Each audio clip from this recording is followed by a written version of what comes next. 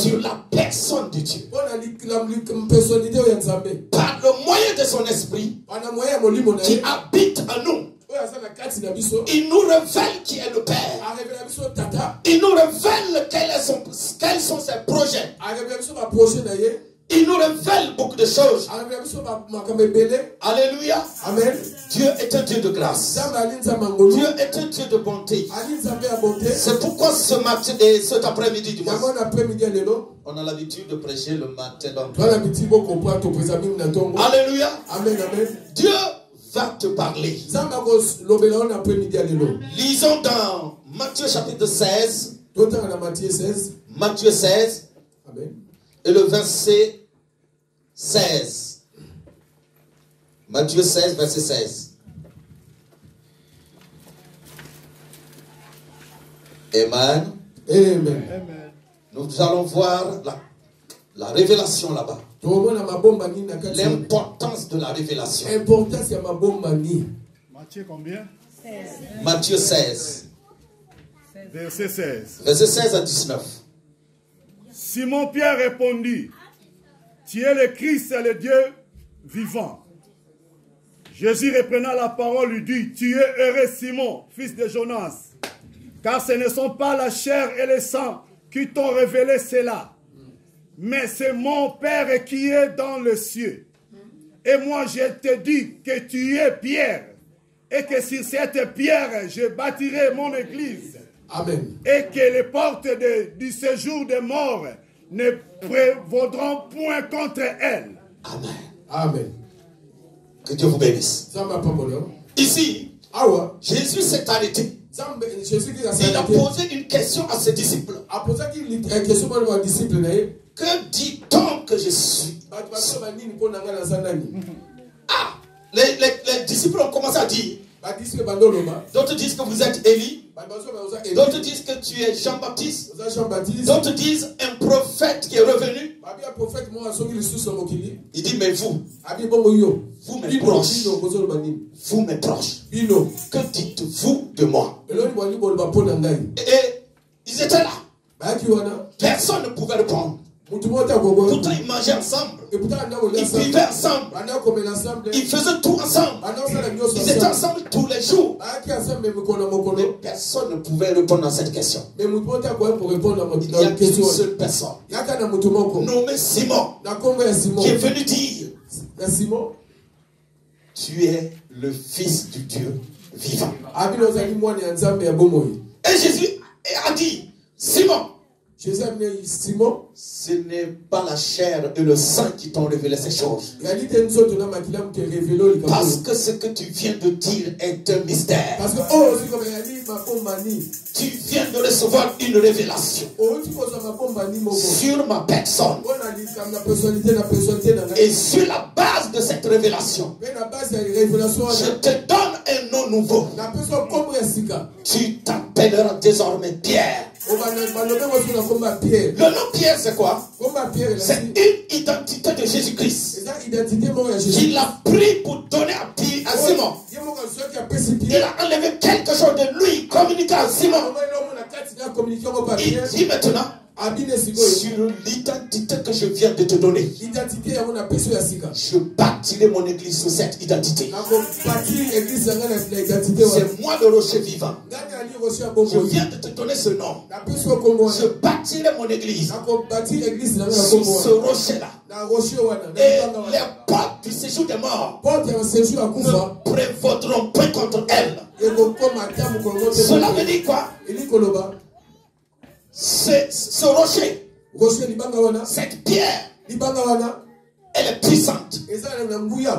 Et quiconque est fondé sur cette pierre, wana. quiconque s'implante sur cette pierre, wana. rien ne peut contre lui. Quelle grâce. Quelle grâce. Maintenant, nous voyons un secret par là. Que la révélation donne des opportunités. ezali maboma nde epesaka baopportunité na vie Amen. amen amen Et Jésus lui a dit, jésus Je te donnerai les clés du royaume des cieux. Je te donnerai les clés du ro- du royaume des cieux. Tout ce que tu lieras sur la terre sera lié dans oyo les cieux. Tout ce qui sera délié sur la terre sera délié dans les cieux. Toute cette grâce vient de la révélation qu'il vient d'avoir. Pourquoi Jésus n'a pas dit cela aux autres disciples? Parce wana te qu'eux, ils n'ont pas eu la révélation. C'est pourquoi je dis, yango nalobi l'Esprit de Dieu va te donner la révélation à travers son serviteur. Et tu vas faire des exploits avec Dieu. Tu vas avoir la connaissance de Dieu. La connaissance réelle. Écoutez bien, ton niveau d'exploit est lié à ton niveau de la connaissance de Dieu. Tu ne peux pas aller au-delà de ce que tu connais. Ton niveau d'exploit est lié au niveau de ta révélation sur la personne de Jésus. C'est pourquoi il faut chercher à le connaître, à le connaître de tout ton cœur. Il y a un homme qui s'appelait Jaché. Il voulait connaître cet homme Jésus, mais il ne pouvait pas. Il était court de détail. Et il y avait une grande foule qui, qui, qui, qui avait entouré Jésus. Mais qu'est-ce qu'il a fait? Écoutez bien. Quand vous avez un objectif à atteindre, il y aura toujours une opposition. Mais l'opposition ne doit pas t'arrêter. Tu dois faire tout pour renverser euh, l'opposition. il faut sala tout renverser opposition wana Et il va trouver un moyen. Parce que Jaché avait une soif en lui. parce que Il avait une soif. Il, il voulait tchogo que. Bon, ça c'est un mot lo- local. Il voulait courte courte. amen amen Il voulait courte courte connaître cet homme. wana qu'est-ce qu'il a fait? Il a couru, devancé tout le monde. Devancé tout le monde. Allait monter sur un arbre. ya Cela veut dire quoi? Il est allé au devant de tout le monde. Si tu veux connaître Dieu plus que les autres, va au-delà des autres. Cherche au-delà de- de- de- des recherches des autres. Tu, tu vas devoir faire quelque chose que les autres ne font pas. Lorsque les autres dorment la nuit, tu dois te réveiller. Lorsque les autres mangent, tu dois gêner. Lorsque les autres amen, sont en train de regarder la télé, tu dois méditer la parole de Dieu. Fais ce que les autres ne font pas. Écoutez bien. Si tu fais comme tout le monde, tu seras au même niveau que tout le monde. Est-ce que vous savez que dans l'église ici, quelqu'un peut être béni plus que tout le monde Si la personne sort de- du, du milieu du monde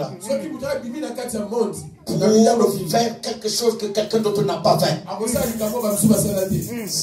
ça va faire la différence. Ça va faire la différence. Ça va faire la différence. Ça va faire la différence. Amen. Que et Zaché il a payé un prix, afutaki prix? Apeki prix? Le prix du dévancement.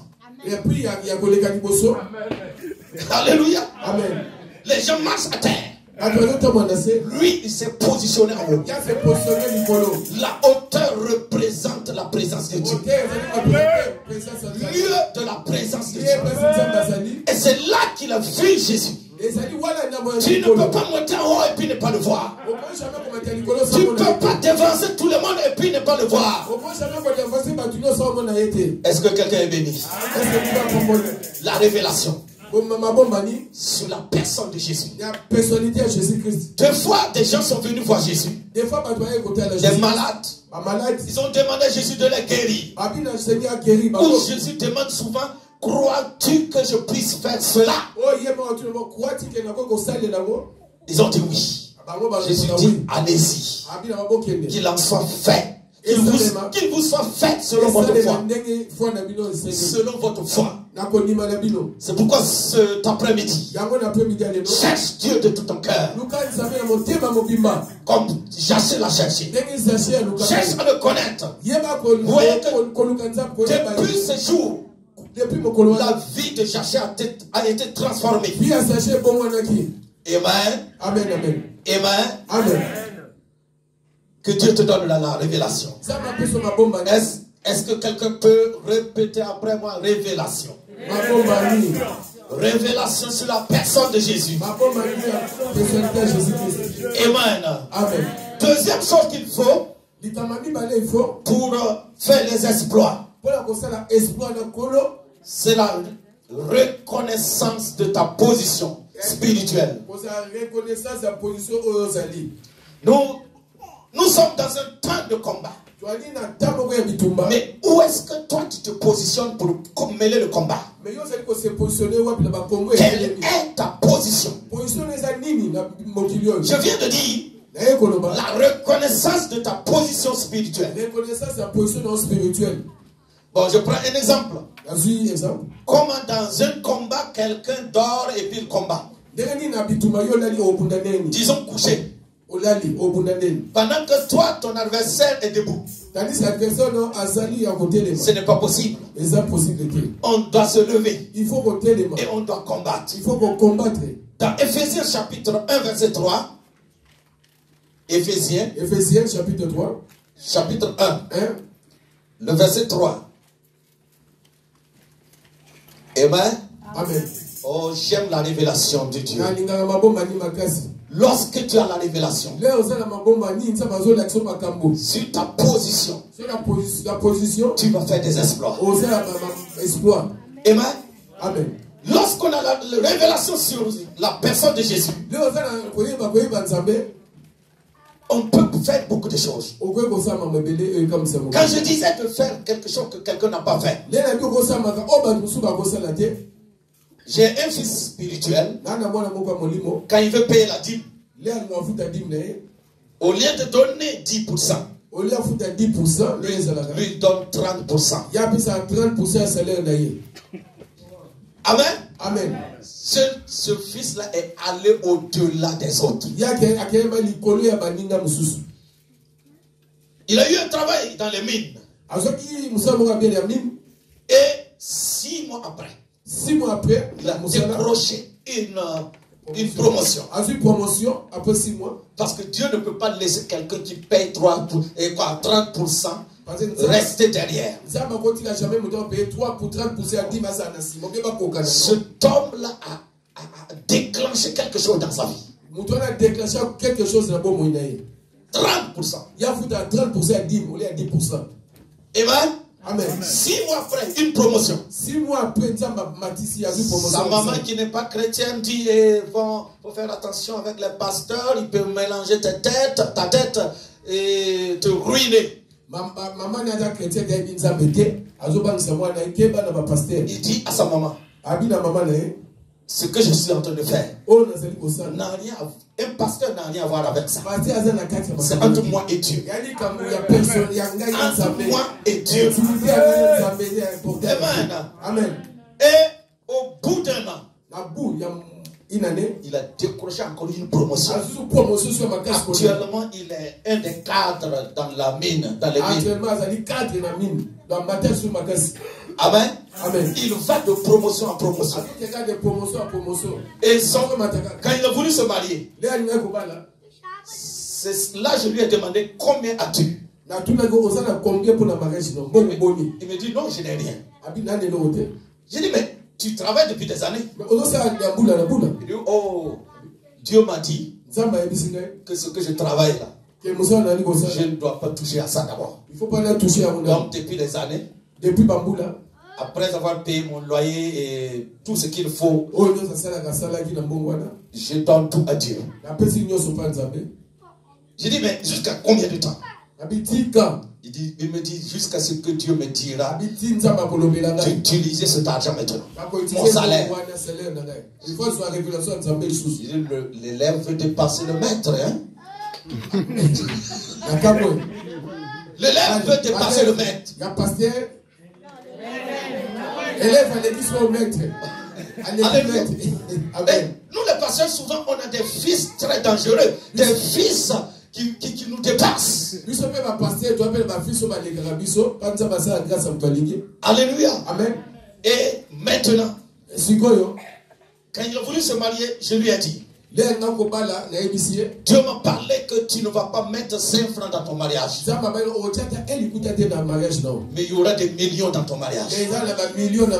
Et c'est ce qui s'est passé. Des gens ont pris tout en charge. Et, une groupe, chapitre 1, verset 3. Où il nous dit. Amen. On peut lire. Ephésiens 1, 3. Chapitre, euh, chapitre 1er. Oui, chapitre 1er, verset 3. Béni soit Dieu le Père de notre Seigneur Jésus-Christ, qui nous a bénis de toutes sortes de bénédictions spirituelles dans les lieux célestes en Christ. Amen. Amen, amen. Béni soit Dieu. Alléluia. Amen. Le Père de notre Seigneur Jésus-Christ, qui nous a bénis de toutes sortes de bénédictions spirituelles dans les lieux célestes en Christ. Ici, il parle que nous sommes bénis de toutes sortes de bénédictions spirituelles en Christ. Parce que nous vivons dans, un, dans deux mondes en même temps. Le monde visible et le monde invisible. C'est pourquoi Dieu œuvre spirituellement et ça se réalise physiquement. Amen. C'est pourquoi il y a souvent des choses qui sont, et, qui sont pas réelles d'abord. Mais qui sont là. Mais ça déjà sur place. C'est la vérité. Mais ce n'est pas réel d'abord. Par exemple, ton problème est, est réel mais n'est pas vrai. Mais il y a des bénédictions dans ta vie qui sont vraies mais qui ne sont pas encore réelles. Amen? Mais il faut venir à la réalité. Ça va devenir réel dans ta vie. Au nom de Jésus-Christ. Nous voyons ici que la Bible dit que nous sommes bénis. Amen. De toutes sortes de bénédictions. Spirituelles dans les lieux célestes. Ça veut dire que c'est là-bas que nous sommes bénis. C'est un langage spirituel. Nous sommes sur la terre. Physiquement, nous sommes sur la terre. Mais dans la position spirituelle, nous sommes dans les lieux dans les lieux célestes en Christ. Qu'est-ce qui se passe Amen. Amen, amen. Nous sommes dans les lieux célestes. C'est là-bas que nous sommes positionnés. Maintenant, comment on est arrivé là-bas? Nous sommes entrés en Christ. Alors que la Bible dit que Christ est monté et il a euh, à la, assis à la droite du Père. Amen.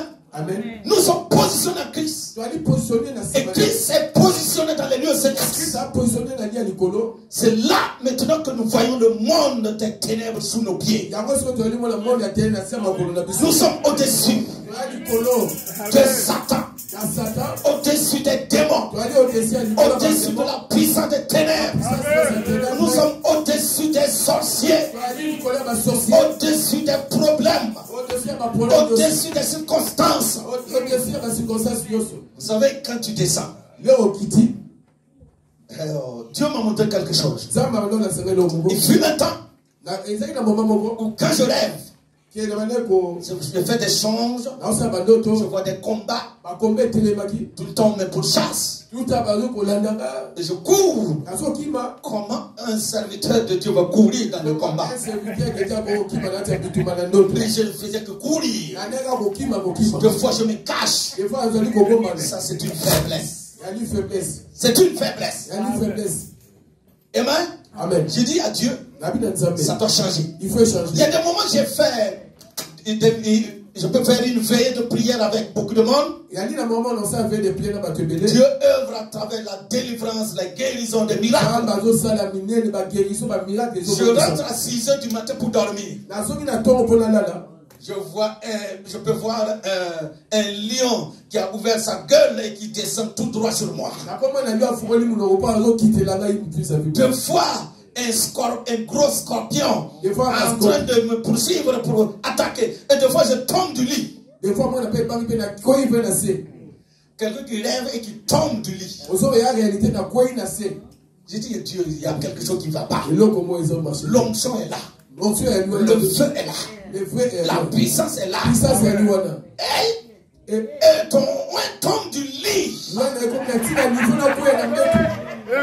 y, a quelque, il y a quelque chose que je ne maîtrise pas d'abord dans la fête de Dieu là. Amen. Amen. Dieu m'a dit. C'est un problème de niveau. Tu es encore en bas. Malgré ton, malgré ton onction. Tu es encore en bas. Et là où tu es là, il y a des scorpions là-bas. Là où tu es là, dans cette position, il y a, il y a des lions. Il faut que tu ailles de, au-delà de ces choses. Comment avec mon onction? Les scorpions et les lions me font tomber du lit. Amen. C'est parce que j'avais l'onction, mais je n'avais pas la révélation sur la personne de Jésus. Amen. Et cela est venu plus tard. Donc, aujourd'hui, aujourd'hui, il y a des serviteurs qui me donnent le sujet et je suis attaqué la nuit. J'ai dit, mon ami, il faut grimper. Alléluia. Il ne faut pas rester là où tu es. Je suis passé par là. Vous savez, je suis très jeune. Mais j'ai commencé le ministère, ça fait longtemps. Très très jeune. Il y a 10 ans de cela. Il y a 10 ans déjà. Et une association de militaires ont organisé leur veille de prière. Alors il y a deux militaires qui me connaissaient. ils m'ont invité pour que je sois orateur. Et je devais gérer la veille seul. Maintenant, quand je suis arrivé, avec mon équipe, avec tous des jeunes, on est rentré dans l'église. Dieu me dit, on ne croit pas à toi. On ne croit pas en ton onction. On, trouve que tu es petit. Je dis, ok, hmm? On verra. Quand je me suis levé, j'ai dit, ne me regardez pas comme un enfant. Parce que celui qui est en moi est plus grand. Il est puissant. Alors qu'en ce moment-là, il y avait des groupes dehors qui murmuraient, ils menaçaient les, militaires qui m'ont invité. Nous, on dit d'amener des serviteurs de Dieu et pour assurer la veille et vous partez, vous amenez des enfants. Et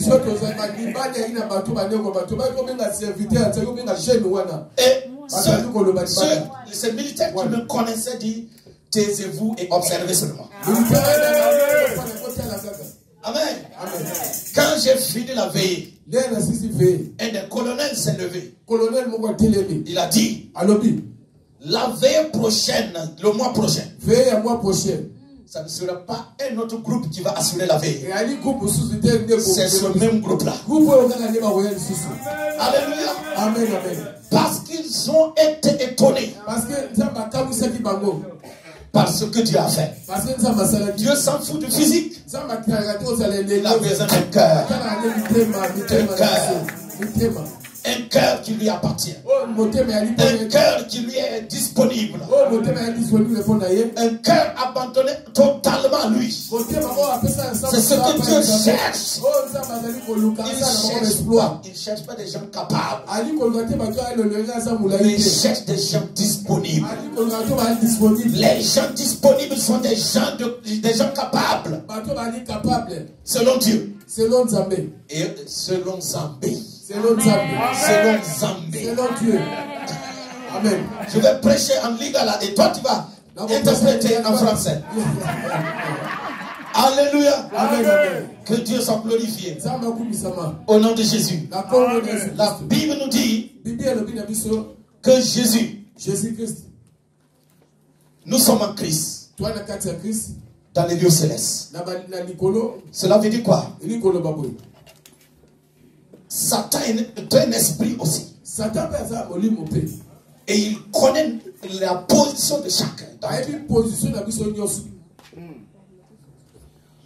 Amen. Amen. En termes théologiques, on dit que Satan est positionné au deuxième, au deuxième ciel, c'est pas ça? Satan est positionné dans le deuxième ciel. Mais nous, nous sommes au-dessus du deuxième ciel. Alléluia. Amen. Et dans cette position, c'est là maintenant que Jésus dit dans Luc 10, 19. Amen. Oh, Jésus dit ça dans la position Dans Luc 10, 19. Dans Luc 10, 19. Je vous ai donné le pouvoir. Il dit, voici, je vous ai donné le pouvoir de marcher sur les serpents. Moi, je ne pouvais pas marcher sur les scorpions parce que je n'étais pas au-dessus d'eux. J'étais au même niveau que eux. Donc ça fait que, et puis quand je fais ce genre de rêve, euh, l'esprit de scorpion se manifeste. C'est-à-dire c'est un esprit de maladie et de, de, de douleur. J'avais tout le temps des maladies. Des maladies. Mais, mais lorsque je suis allé au-dessus de la puissance des ténèbres. Je veux dire, lorsque j'ai reconnu que, reconnu que ma position est dans les lieux célestes en Christ, je marche maintenant sur les serpents. Je marche maintenant sur les scorpions. Je marche maintenant sur la puissance de l'ennemi. Et rien ne pourra me nuire. Il faut se positionner. Et là maintenant, c'est celui qui est en haut qui domine sur celui qui est en bas. Est-ce que vous comprenez? Amen. Celui qui est en bas ne peut pas dominer celui qui est en haut. Et quand vous êtes, quand vous êtes au même niveau, vous ne pouvez pas vous dominer également. C'est toujours, c'est toujours celui qui est en haut qui peut marcher sur celui qui est en bas. Et c'est pourquoi nous devrons grimper. Il faut juste reconnaître que nous avons été amenés dans les lieux célestes. Nous sommes positionnés en Christ. Et le monde est sous nos pieds. Le monde satanique est sous nos pieds. Et là où nous sommes positionnés, on est intouchable.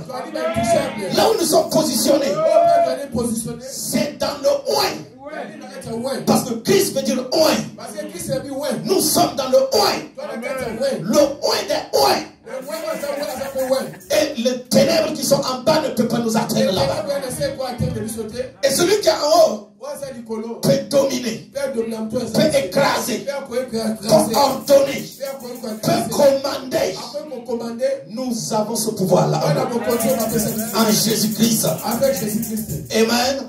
Pour finir, pour finir, dans Colossiens chapitre 2, verset 9, il nous reste 3 minutes. Colossiens 3, 2. Et 3 et Colossiens 2, 9, dis-moi ça. Amen. Amen. 2, 9. Colossiens. Uh -huh. Chapitre 2, verset 9. Colossiens chapitre 2, verset 9. Mm. Car à lui habite corporellement toute la plénitude de la divinité. Ah. Je continue. So, Amen. Oui, verset, verset 10. Vous avez tout pleinement en lui. qui est le chef de toute domination et de toute autorité. Amen. Amen, amen. Amen. Amen. Qu'est-ce qu'il dit? Car en lui habite corporellement toute la plénitude de la divinité. Il parle de Christ, en qui nous sommes. Et maintenant,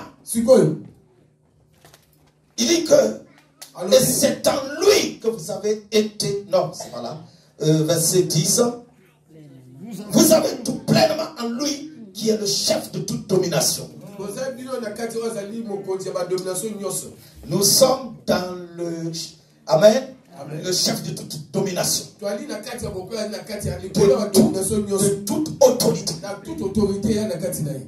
Nous sommes là. Amen? amen Domination.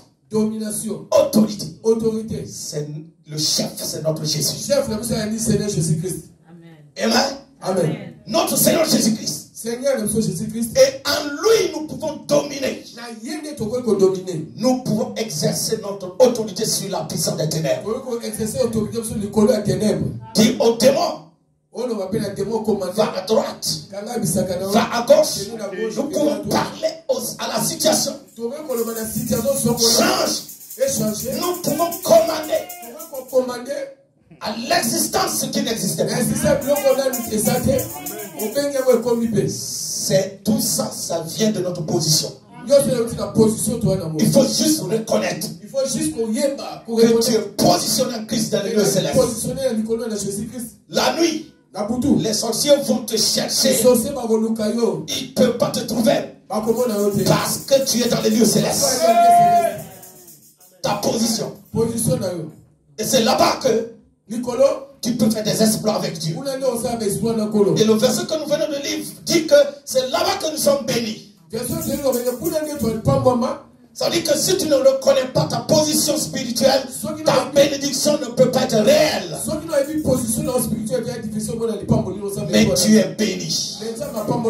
Tu es béni. Tu as la révélation. Et tu te positionnes.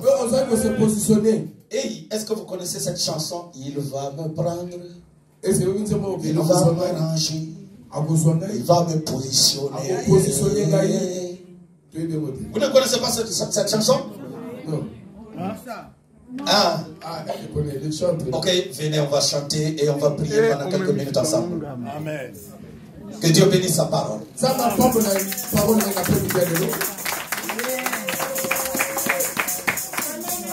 Il va me prendre, il va manger. Et quand le groupe musical chantait, je ne voulais plus prêcher, je voulais qu'on adore, qu'on loue seulement. Amen. Parce que la présence de Dieu était là. C'était trop fort. L'Esprit de Dieu est dans, ce lieu. Il est dans ce lieu. Amen. amen Ne me cherche plus là-bas. oh. Dieu a changé mon adresse. Oh. Ou bien ça commence comme même là? comme des chansons camerounaises Ah, ivoirienne Amen. amen